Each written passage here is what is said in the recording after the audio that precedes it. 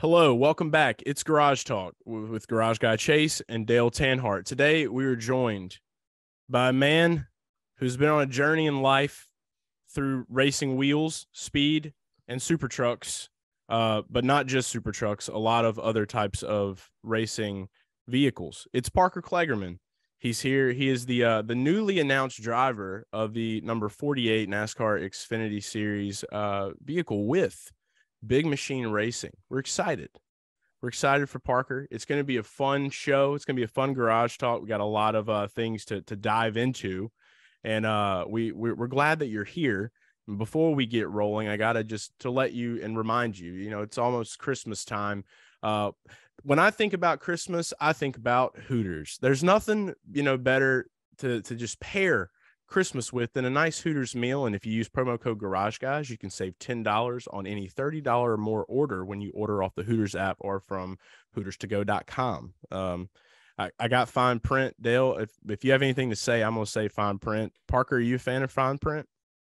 Sure. Yeah. All right. Why not? Let's do Go it. for it. Valid participating locations for delivering carry out orders only $30 more. That And don't was- forget, Mhm. don't forget too. While while we're here, while we're still talking about Hooters, limited time only items you can get at Hooters. Feel the love. Christmas is a loving time of year. You got to feel the love with with Hooters, and you can feel the love with these limited time only items: Texas style quesad- quesadillas, the Diablo burger. If you're a big spice guy, Daytona Beach BLT, and Sloppy Joe sliders. That's the one that that still gets me. I got to try the Sloppy Joe sliders. Limited time only items that you can pair up with promo code Garage Guys at your local Hooters. So try it out and, and have a loving time at Hooters this Christmas. That was a little air kiss. When I think about Sloppy Joe, are you a Parker? We'll start this off. Are you Yep, are you yep. are you a fan of Billy Madison? Are you an Adam Sandler guy? Definitely. Thank you for having me on, Okay. by the way. Appreciate it. Yeah, I'm I am glad that you're here and I'm excited. We've been waiting on this one for a long time. I was just gonna say have some more sloppy joes. Great movie, great quote. Mm. Um but yeah, no, Parker, we so for anybody that doesn't know in the garage fam, we met Parker in Nashville for the first time. We were in the middle of filming a uh uh I guess it was just our race preview show for Nashville. Parker's just like strolling by and we're like, Hey Parker, hey, come here, come here. And like that was literally how we met. We had no communication beforehand. We were just like, Hey, yeah, come here. He hops on the show and we're talking about the Super Truck series. Parker was racing in the truck series still, and I'm I'm hoping that you're going to be doing a little more. Are you going to be doing some more truck stuff, or is it just full time Yeah. this year? no, full time Xfinity, and then we're gonna do 10 to 12 uh truck races with Henderson. So I've got a packed schedule, man. I've gone from my most races in the last 10 years has been like 19 in a year to I've got 43 planned for next year. So I would say um yeah, it's gonna be busy. yeah, two of those two of those are my to my girlfriend's despair two of the off weekends we have in xfinity are in the springtime one is bristol dirt i'll be doing the truck race and one is north wilkesboro i'll be doing that truck race so i'm Love just it. full in on racing every weekend love it though Dude, oh yeah, talk about throwbacks. We got North Wilkesboro back on the schedule. Every no, like literally every race fan cannot absolutely wait for that weekend. Uh, but talking about another throwback, Craftsman is back, and I think it's funny how Chase talked about that. Opened up with how how we met was during that, and we talked about like nostalgic truck series shit, basically.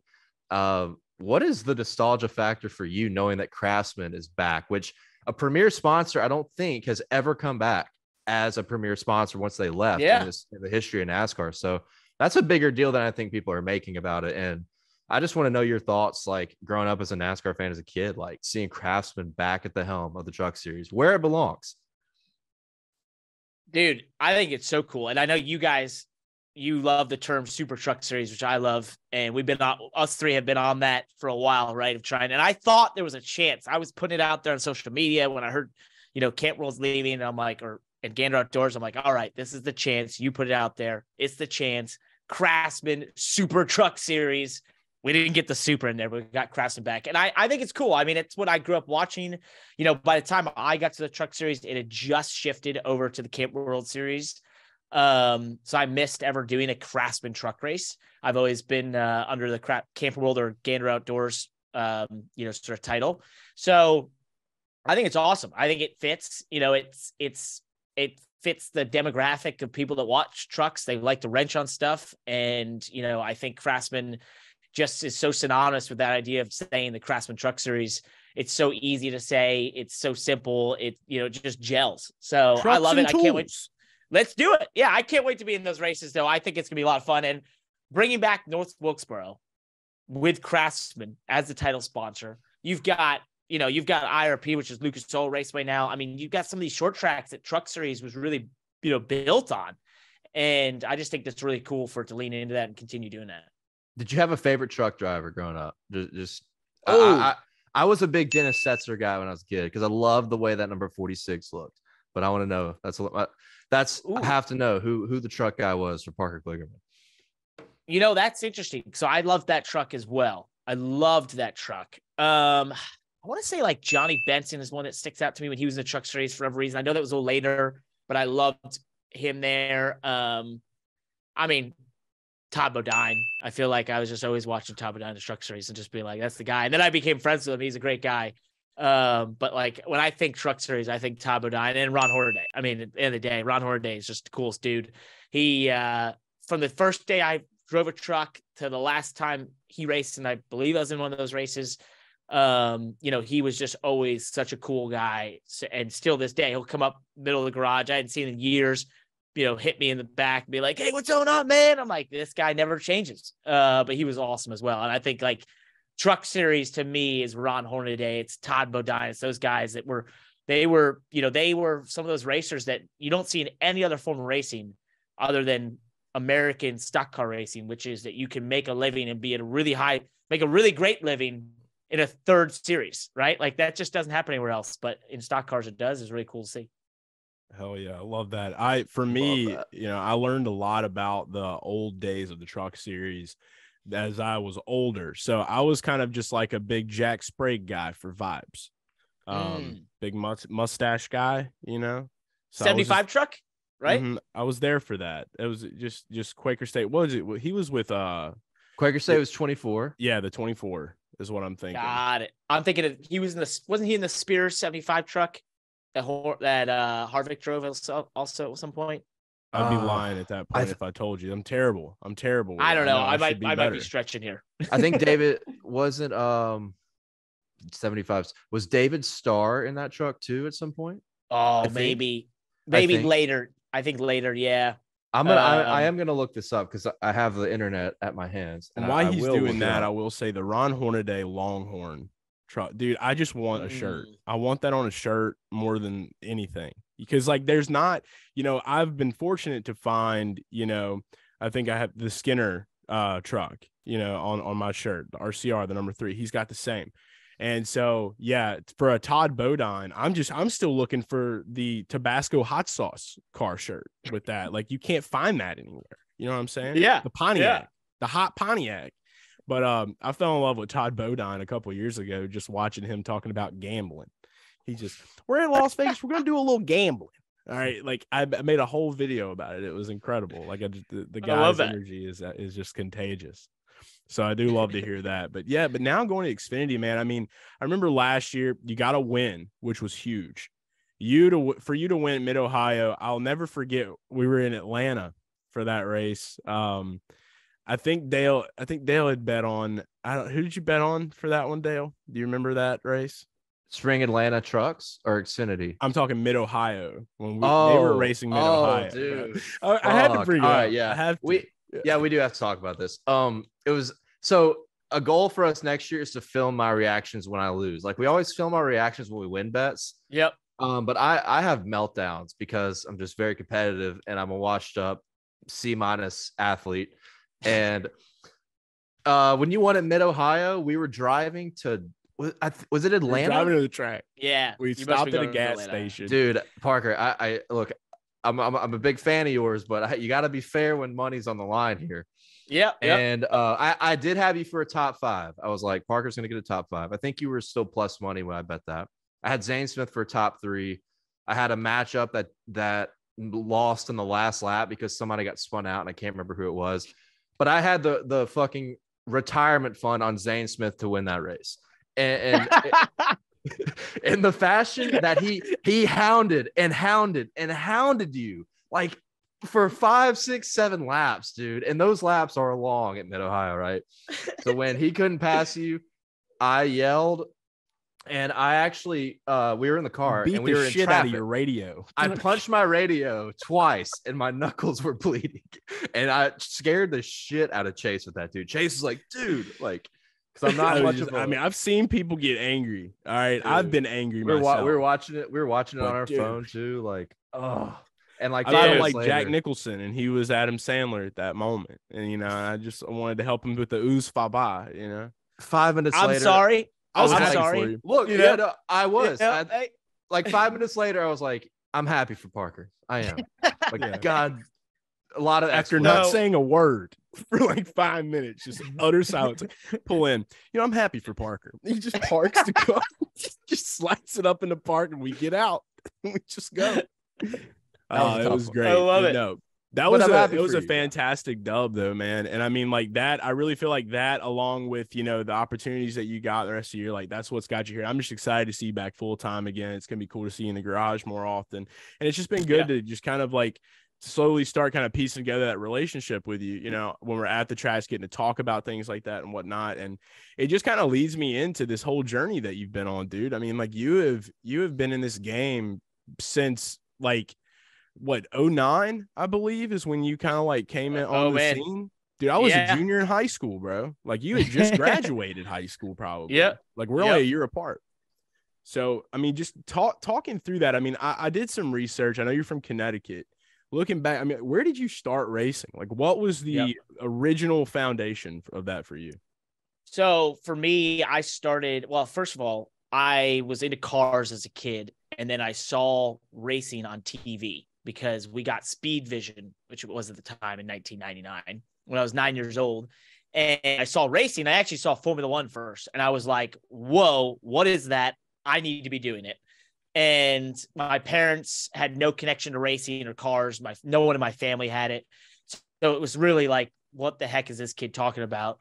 Um, and then four years later, we're moving towns. And after just incessantly talking about it, you know, for four years, my mom was like, okay, what does it take to go go kart racing? And so I went on the internet, of course, and like figured it all out and realized right down the street from where we'd moved, there was a, a karting association um, in this parking lot by the beach. And they did it every Saturday in the spring and the fall called Norwalk Karting Association started racing there. My mom helped me get going, and um, you know, I started.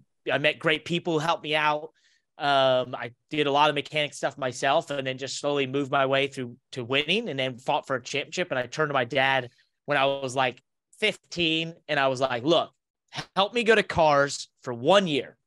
And if you do that, I'll do the rest, which is a ridiculous notion because financially this is really hard sport. But I wanted to go to Formula One at the time. So we go and do open wheel. I win my first couple races, win the most races, win the championship. And my dad was like, Good job, you're on your own. Um, had no money, could go to Europe. So I tried to go to Europe with no money. That doesn't work. Uh, it's, it's tough to go to Europe with a lot of money. It's really, well, it's impossible without any money. So Yeah. um, my dad, to his credit, even though he wasn't a, a huge fan of the racing stuff, was like, "Hey, what about NASCAR?" And I had watched NASCAR, I loved it. I watched it. It's I watched every day or every weekend all the races. Obviously, it was on Speed Channel constantly, and so I uh, I went down that path and got an opportunity to use like midgets, and one thing led to another. And before I knew it, within like two years, I signed with Penske, and so it was a totally different path. From that moment, um, did ARCA, made my first NASCAR start in 09 at uh, Kansas in the Xfinity Series, won the pole, beat Kyle Busch. Remember thinking, well, this isn't that hard. I mean, we'll be in Cup in a week. like, yeah you know, like, damn, this shit ain't hard. Um, yeah, but then reality hit. I finished uh, 16th on that day, and then later that year we did the second start. I hit the wall and qualified and missed the race. So I had the highest of highs, the lowest lows, and then from that point, man.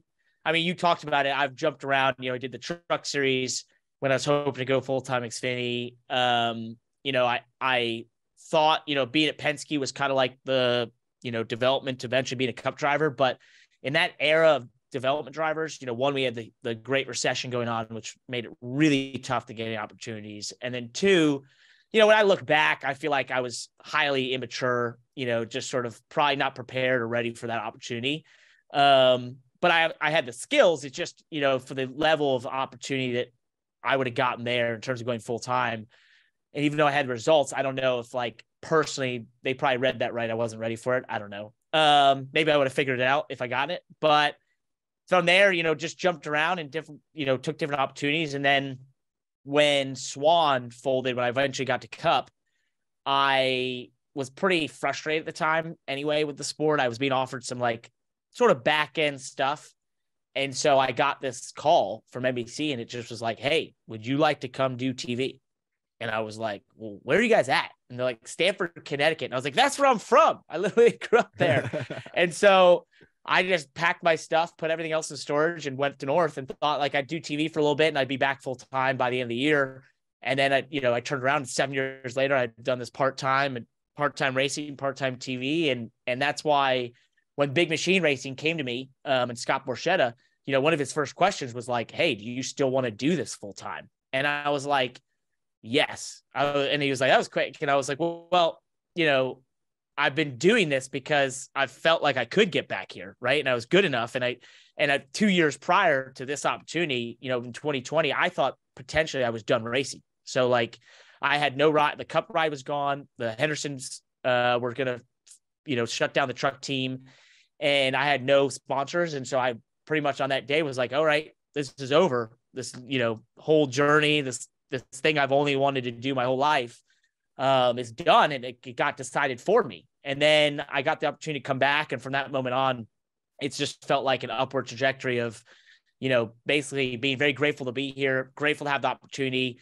And with that, my performance has just been at a, a level I didn't even know I had. And so I felt like if I didn't take this full time opportunity, it was going to be one of those things where, you know, it'd be a terrible thing to waste having where I feel like I'm driving the best I ever have ever and to not go out there and be racing every weekend. So I'll find out, you know, over 43 weeks, basically, if uh, if I if I really am driving at the highest level I believe, and you know the the level that I believe I am, but I'm ready for the opportunity. And and you know, it's it's funny. People like say it's like a second chance, but I hate that term. It's so cliche because to me, this is actually where you know the last time I went full time Xfinity, I was 22 years old, 23 years old. Yeah. And people always say, like, man, if I could do that again, what I know now. And I'm like, well, shit, I'm getting the chance to do it again with everything I know now. So we'll see uh, if, you know, we'll see if I'm successful with that, but I really believe I can be. And so I know it's a long winded answer to explain how I got here, but it has been a journey for sure. And I, uh, I don't, I like to say I wouldn't change it for the world. Maybe there's some things I would change, but you know what? I've ended up where I want to be. So it, the, you know, none of that matters. Dude, yeah, no regrets, man. I, I love all of that though, dude. Like, just I just, I mean, I just literally found out so much about like your beginning. I feel like I didn't even know, and so to know that you didn't come from a racing family and stuff like that, I I love that, dude. So like, it, it just how it all spiraled out. Like, yeah, not a second chance. You grinded your ass off, dude. I mean, I'll watch how you work, dude. I mean, it's just it's it's a hustle. Appreciate dude. it, and it's the same yeah. thing it's a concept people don't get, man. People don't see what it really goes down behind the scenes. They they just see what they got at the forefront, and then that's that's it. They don't understand how hard people put into their craft, man. So I love. What do they What do they say? What do they say? It's like uh, the ten year overnight success or the twenty year overnight success sort of thing. Like, yeah, they don't. All you see is the, the good part, right? Mm-hmm. I mean, man, mm-hmm. I tell you, there were some dark, dark moments, you know, where I was doing the TV thing, which I was very grateful for. It was a huge opportunity, but it was like at times I'm doing this TV thing and obviously grateful to have that opportunity to be to do it at a high level and and you know feel confident doing it and you know get great respect from the fans. But there was times I was standing there on pit road and I never felt further from driving right? And like would sit there just being like there's no way this is like how this ends. Like I, I can't let it do I can't let yeah. it end this way it's right? Not real. and so it's gonna be yeah, my reality you know? I was like this why am I why am I doing that? So I uh I'm just, you know, I, but you said it, it just takes hard work. It takes, you know, breakthroughs and really just pushing a rock up a hill. Like at the end of the day, that's all this is. It's what life is. You just got to push that rock up the hill consistently. And consistency is like, to me, the thing I've lacked a lot of my life to have more things be successful. But when I am consistent with things, it's like you know, trying to be a driver. I find that there's just there's almost nothing that will stop you um, if you just find a way to be consistent. What's crazy and what people don't understand about this, like comparing to all professional sports, like how often, and this isn't something that's mutually ex- exclusive to NASCAR. It's certainly more possible with NASCAR and auto racing because the different kind of toll that your body would take uh, compared to some stick and ball sports. But how rare is it that somebody goes full time in any professional sport? Basically, I won't say fall out because you hung around, you hung around and, and had some opportunities uh, at a part time basis. But to go full time in a sport, then that's you've been relegated out of that for eight years, right? Like six, seven, eight years, and now you're back almost ten. You know how rare, like that is. People got to understand how rare that is for that to happen, and it's not like it just happened out of just you know out of thin air, out of luck. Like we talked about, you worked for it, but that opportunity has come partially to Henderson Motorsports, the number seventy five truck, which uh, awesome paint schemes, by the way. I have to say, always looks so damn good on the track, and it's exciting Thank to hear you. that you'll be. It's it's exciting to hear that you'll be back in that truck because uh, big truck guy, big truck guys here, at garage guys, and and uh, it's also my uh, quick brag since we shit on me earlier for the you know punch the radio incident. It's my best betting performance in, in all NASCAR National Series. So I got to throw that in there. But talk about Henderson, like what that has meant to you, the increased, just better performance year by year by year, three wins. I mean, it- it's been it's been really fun to see. I just want to know like how that all came together and continue to stay together through Yeah. all these years and, and get you to where you are now. and you said it, man. You know, they are the reason. And it's Charlie and Don Henderson, the whole Henderson family, the Food Country USA, and all the 500 employees that work for them in those grocery stores. And then Chris Carrier, who's the crew chief. You know, Chris and I got linked up together when I was just first getting an ARCA when he was at Penske and I joined Penske. He became my crew chief. We won nine races together there. We had, you know, we won that pole together in Xfinity. We got split up for a couple years. We always wanted to come back together. We always said that. And when I was kind of bouncing around rides there in 2016, I drove that 92 truck for a while. The Hendersons were just entering the truck series. He came to me and just said, Hey, would you be up for doing a couple races and just evaluating our stuff at least? And I was like, Yeah, absolutely. And you know, we we actually missed the race at Talladega the first time I got in that truck. And I think, you know, the Hendersons were all horrified and whatever. And I was like, no, no, no. I like you, uh, you know, you you can tell good people right away. I was like, I like you guys and I trust Chris. We'll figure this out. We went on to miss uh, Daytona the next the into the next year because we had a mechanical issue. But then when we went to Atlanta by the in 2017, I was like, this truck is awesome, and we ended up winning our last race of that year in Talladega. Um, and ever since, you know, it's just been a bond and a friendship and a family that has supported me at such a high level. Um, and you know, we've I've done everything I can to help them um, on track and off track. I know, you know, they know that they've done the same for me. Chris Carrier, you know, is a magician, as I like to say, in terms of being a one man band and being able to do what he does. And I think, you know, for the last couple of years, we came back in 2020, it was like they made the same pact I did, which was like, we're going to enjoy this and we're going to do it at a high level and we're just going to try and get better. And from the first race back in 2020 at Pocono, we have just been on a linear path and progression upwards to getting better to winning at Mid Ohio.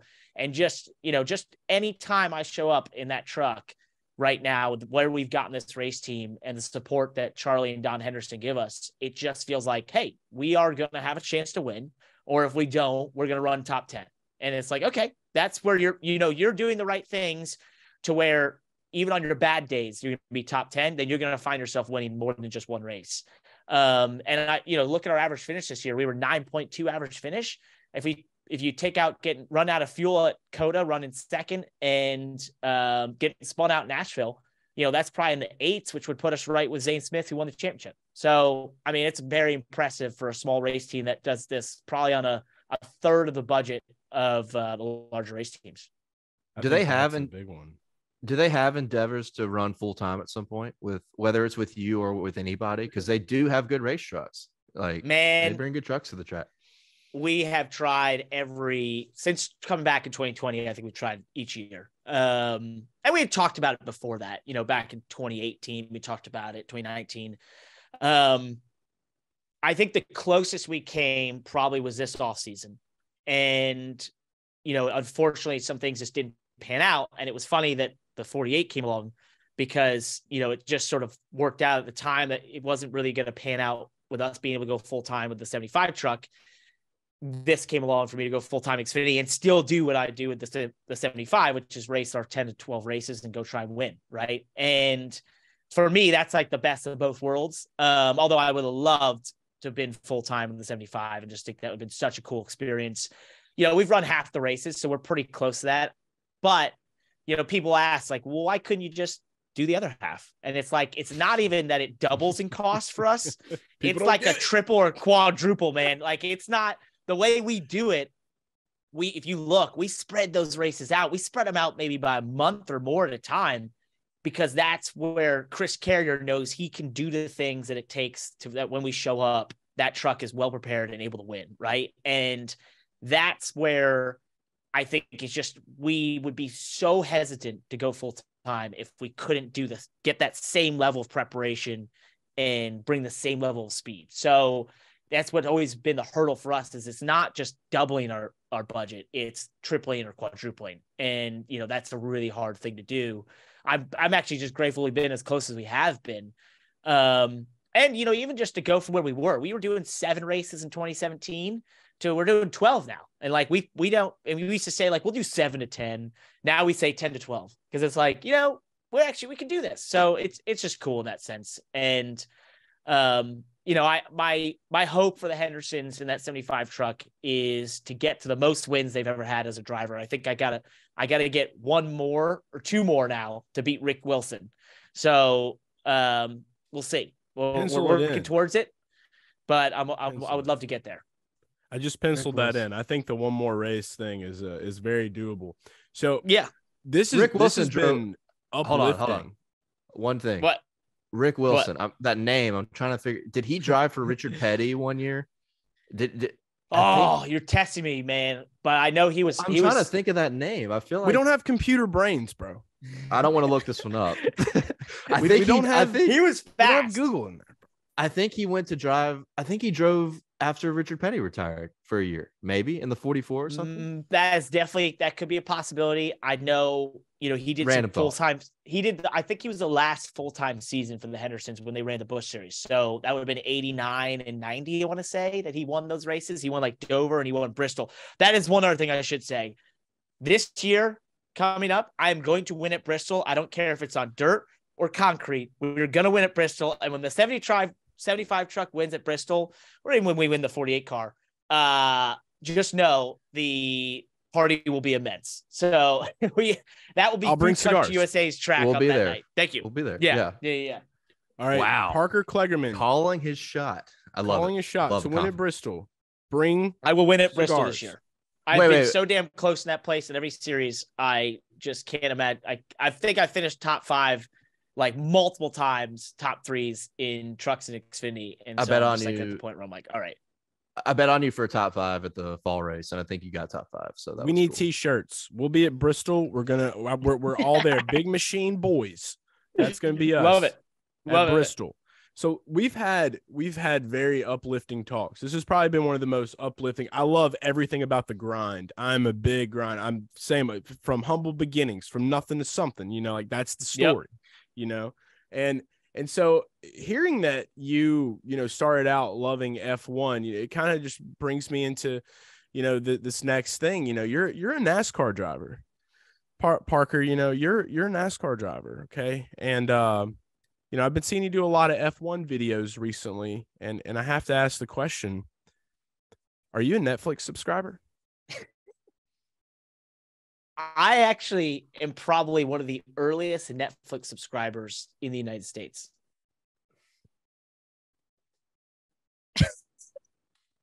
hmm. Hmm. Probably, probably you, don't, you don't want to know about that story. Before Speed Vision? Uh, Let's hear nope, it. After, you had early access? After Speed Vision. Man, hmm. I was on that deal so early when they went to the streaming deal that I remember telling someone about it. And they're like, what do you mean you watch shows on the internet. I think this had to be like time. like I had to be 09, 08. I don't remember when they launched. I was still ordering somewhere around there. DVDs. They launched. I think Yeah. they launched. Yeah, see, they launched like five years before that, but they were like, weren't they like a mail-in DVD service? Yeah, they were first? mailing. I'm talking about like Yeah. the second the streaming service first came up, which would have been like 09, 2010. I just remember having it so early. People didn't know what the hell I was talking about. 2011 is what I remember because Blockbuster tried to do the same Mm. thing. Interesting. Didn't Interesting. work. Well, then I, I'm telling you, it was right around that time. And the funniest part about that deal was that's when like it was just starting, so everyone wanted the login, and at the time it was like seven bucks a month. And I remember my my brothers were on it, my sister, my mom, my dad were all on my account. And I- they were one time I was racing and they couldn't log in. They're like, "What the fuck, dude?" All this stuff. Sorry for the language. And You're good. No, that's And you I'm put- like- it's I'm like- here. Yes. all I wrote back was, "It's seven dollars." Get your Yeah. own one.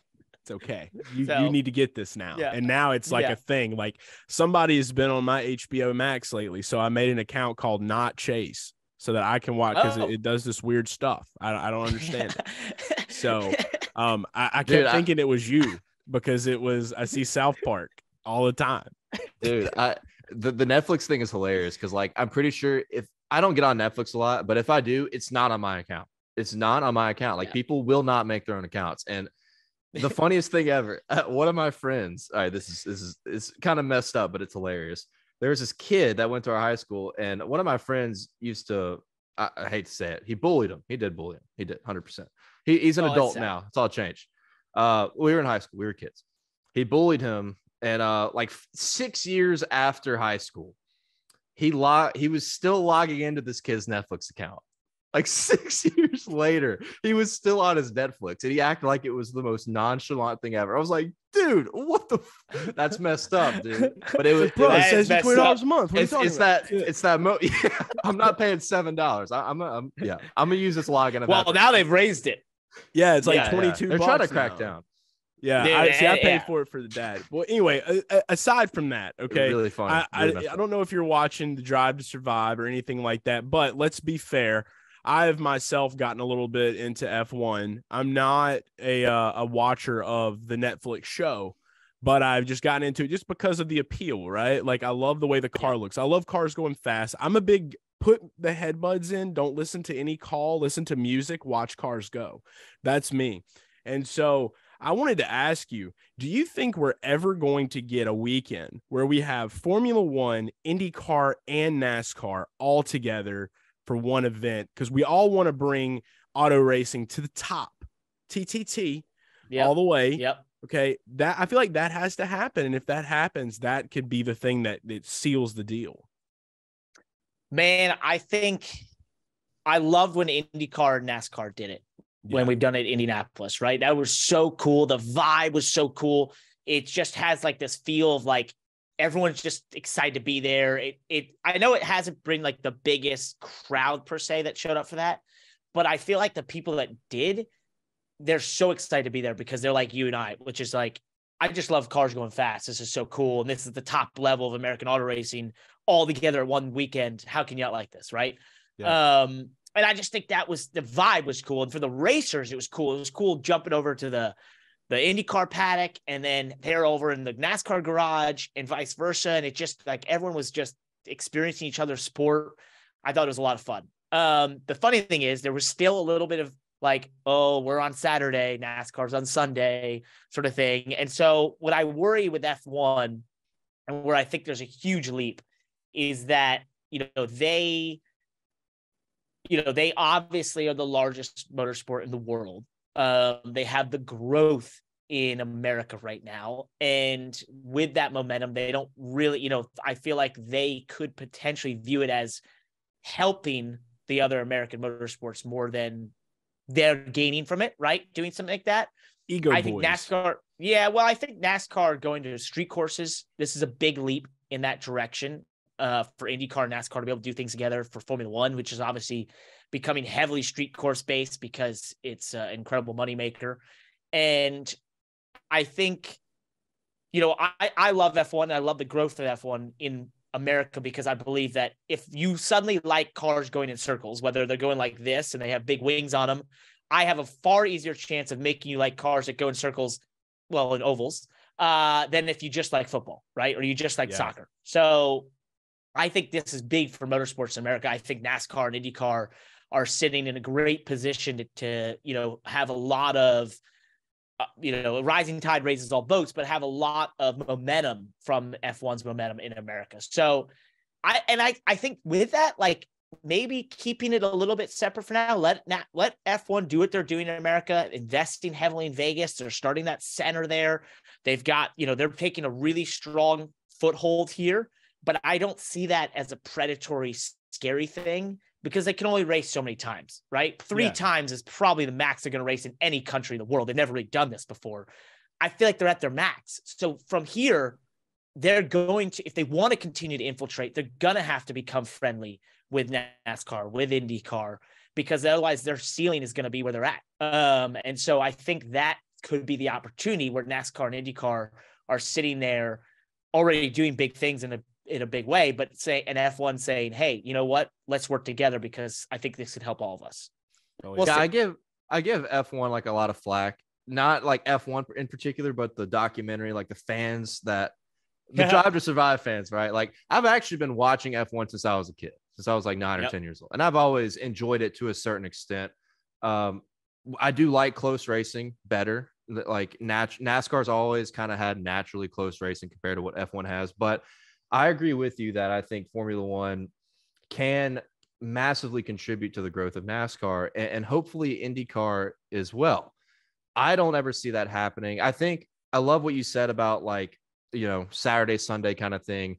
There's no way F1 would ever want to race on a Saturday and let NASCAR race on a Sunday. I feel like maybe NASCAR, especially if, if we're in the United States, NASCAR may not want to race on a Saturday and let F1. I feel like that would be kind of a dispute. complex. Um, Yeah. So I I think it would be so awesome if that if that happened though. And, and that is a great point about like one thing we do at Garage Guys is we work really hard at turning stick and ball sports guys and girls into racing fans. I never thought about that. That that is advantageous. It is easier. All these new people that have be- become attracted to Formula One through open uh, through the documentary, through Drive to Survive and everything it, it, it would be way easier to convert them into NASCAR fans because they're already fascinated by motorsport. That's a really good You know- point I didn't think about. You know how I know it's a possibility? Because I am a great example of this. So I found Formula One first. That was the first thing I found in racing. I was like, wow, that's the coolest thing ever. I want to be doing that, so on and so forth. But what happened was back in 2000, 1999, 2001, there was only like 16 F1 races a year. And obviously, NASCAR is booming at the time. And I just naturally started watching NASCAR because I wanted more racing. So it was like I found Formula One, but then I was like, this is awesome. I love motorsports. I love this racing thing. Oh, wait, there's more of it. Oh, there's this NASCAR thing. They race like every weekend. Wait, why don't I watch that? And so it's like, you know, that just became natural for me because I liked racing. Then I found IndyCar and kart and all that because it was once again just like, I want more of this. I think there's a possibility of that occurring. And you know, the the X factor is how many, what percentage of all these new Drive Survive fans and people who find Formula One are going to suddenly get that same urge of like, I need to watch more racing. Okay, there's no F1, but there's NASCAR, um, or there's IndyCar. Or I got to check out the Indy 500. I don't know. I think we've already started to see some of it, but you know, IndyCar had a good year. I think NASCAR had obviously an uptick in ratings and such. So you, you have to think naturally some of that could be from that that group. Um, and I've seen some of my fa- my friends who became Formula One fans who drive survive who are now asking me NASCAR questions, Daytona 500 questions. Like, wait a second, so the what's the biggest race? They even though I've they've been my friends, you know, the whole time I've been a race car driver, you know, they paid attention to my races. They didn't pay attention to the sport. Now they're interested in the sport. So I'm an optimist, but I believe that there's an opportunity there for you know all motorsports to to have growth because of one being you know one growing. Dude I, I the same thing with all my friends like never cared that i was a huge nascar guy growing up but because f1 has has hit this uh, very popular growth level they all ask me that like i can't even count the amount of messages i've got from people who ask me the the differences the comments on uh, TikTok are the best that he gets from the Look, people yeah, that I- just watch the show. parker we That's do the fun. We need you to bring us together because I'm working on the divide every day, baby. I'm working on the Yeah, divide. and I'm here. I'm here for what you're wanting to do, Parker. And like, so I, I, I try to like, t- I, I can't stop Dale from doing what he does. Yep, it's, nope, it's fucking nope. hilarious. He's and hard so, NASCAR. yeah, exactly. So the, the main thing for me is just all of them combined in a ball. It's just cars go fast. Watch it. So that's the way that I'm I'm trying to approach the the situation. I love all of it. And I want more of it, but. I I know it, it's uh, we're getting close to having to wind down, and we were talking about the stick and ball guys and girls. So now for this part of the show, the end of the show, we we're, we're going to bring you into Wheelman Wagers. All right, welcome to Wheelman Wagers. What we're going to do here is we're going to allow you to uh to make some picks on stick and ball sports. And we're going to let all of your fans, all of the racing fans, our ball sport people ride these bets. Yep. So uh so are you ready? Okay. So I'm ready. Austin Dillon, we've had Austin Dillon and Ryan Blaney. Uh, both of them went one and two. Blaney has a slight edge. Uh, so technically he's number one, Austin Dillon's number two, because Austin Dillon picked a heavier favorite and lost. Blaney did did not. So Mm. uh, that's where we are right now with those two guys. And I'm pulling up lines right now. Uh, NFL, tell me who's your you, you got an NFL team like or- or Giants. How I'm a Gi- Giants fan. ah okay. You watched that Yeah. game with the Commanders the other night. Oh yeah, baby. We're going on. We needed to win that. It was big, big win. Big win. All right. Loved well, uh, that hurt me a lot because uh, that late flag killed my bet of the week or bet of the night, bet of the day, whatever you want to call it. But I'm still salty about it. I'm getting it. a theme. I'm getting a theme with you, bud. What is that? Anything does that anything good for me is bad for you in the betting world. oh, and, and you also forgot the the we do two separate jobs too, right? Like, the- Yeah. I, I'm on the divide. You're on the uh, bring everyone together train and motorsports. But the Yeah. Giants have a, another big game this weekend at Minnesota, who just completed the greatest comeback in the history of NFL football. You like that? You like that? Uh, so Giants at Vikings, the spread is plus four Giants. Over under is 48. Giants are plus 170 money line. Vikings are minus 200 favorites. Are you Mm. rolling with the Giants? What do you want to do here? You know, I always say you can't bet with your heart, but and I, I saw that comeback, Vikings. That was pretty impressive. Um, I think the whole world was watching, but you know, I I liked. I know we got we lack receivers.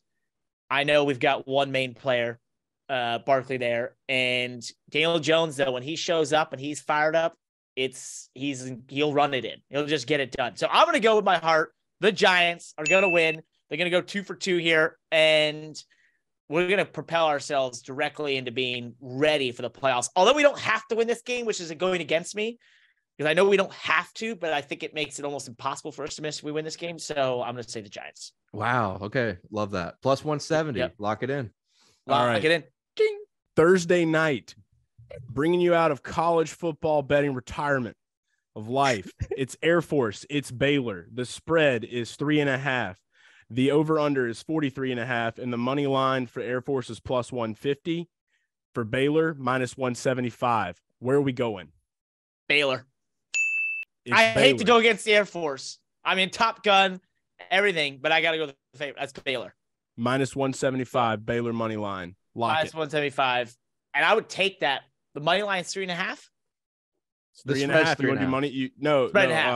Uh, money Oh. line is minus 175. Spread is th- uh, minus three and a half for Baylor. You want to Sorry, do that? Sorry, spread. Mm, no, I'll just take. The, I'll take no. I'm at minus 170 money line. Damn. Dude. All right.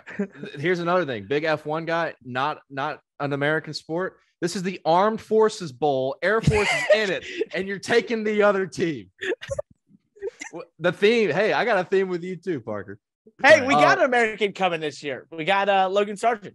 Yes, I saw year. that. He got his Williams. super license, right? Unfortunately, not in the best car, but we, you know, that Williams. remains to be seen. Yeah. It's cool to see an American back in, in Formula One. Though. Love I- that. I, Yeah. agree. All right. So for the final game, we're gonna roll with uh Christmas Day action. You're you're a good affiliate, NBC Sports Sunday Wow. Night Football Classic. Tom Brady and the Buccaneers at the Arizona Cardinals, who are so depleted, and no Kyler Murray out for the season, tore ACL. So Call the Duty. Bucks, the Bucks, yeah, got plenty of time to play Call of Duty now. Uh, some Warzone 2.0. Tom Brady and the Bucks are favored by six and a half points. The over/under is 41, and they're minus 295 on the money line. So, uh, where are you going to lean on this one with a TB12 as a big favorite? What's the spread? Would Six and a half. Six and a half. So Bucks. I'd are take that bet. Okay, Bucks minus six and a half on the road. Yeah. I like that bet too. Actually, I, I actually cannot believe that's even the spread because Arizona. So you're giving six and a half to Arizona, basically. correct. I'd take that one because when it's I can't. I struggle when it's like so lopsided as that one where it's like you can't, you know, just going for a winner like that's not going to work. You got to take the spread on that one. Wait, wait. So are you are you taking Tampa or Arizona? Uh, I'm gonna take ta- or Arizona. to Give cover me- that. Yeah, yeah, cover. Oh, Yeah. oh shit! Yeah. Oh, I think Tampa. Arizona. All right, let's roll. Plus let's six ride and a half. Let's They'll stick be I like it. that bet. I like that bet. You know, it is hard in the NFL to blow like teams don't blow each other out super often. Like the, the gap When- is so narrow. What you know, I mean, they just got to hold them. I, I don't know. I think it's a good one. It's probably a little, you know, seven and a half would be better. I'd like that, but Sports with take it. balls. I like it. I'm sure. I'm sure that will change as we get closer. That'll be like seven and a half, eight and a half. Who knows? Well, they oh. figure out. We got it locked in right now. We got it locked in right now. So that line moves. You're good.